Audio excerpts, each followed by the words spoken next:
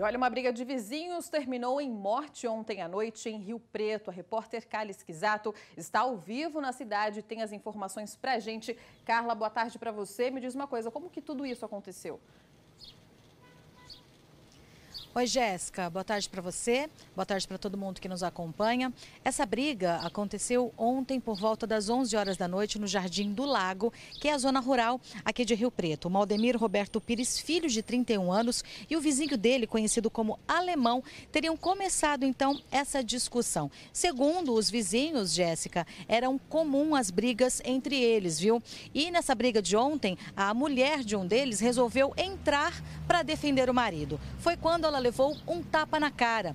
O marido dela, então, resolveu aí entrar também, brigar com, uma, com o marido dela, que, que acabou entrando aí na briga, e ele pegou uma pá e bateu essa pá na cabeça da vítima. A vítima caiu no chão e levou aí várias facadas. Maldemir, então, acabou morrendo no local.